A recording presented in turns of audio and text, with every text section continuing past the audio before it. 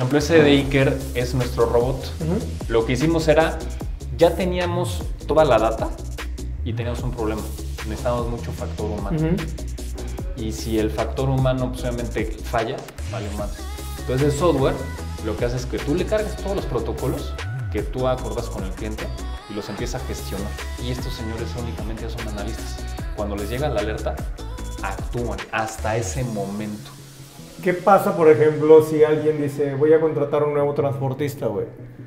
Pero necesito de ella. ¿Cómo le das? ¿O Ah. Tienes que esperar a... No. ahí metes un, o- No. otra aplicación diferente. Tengo una aplicación Exacto. que la bajan al celular Ya, y de volada. Sí, para que no, no pierdas el, el tracking.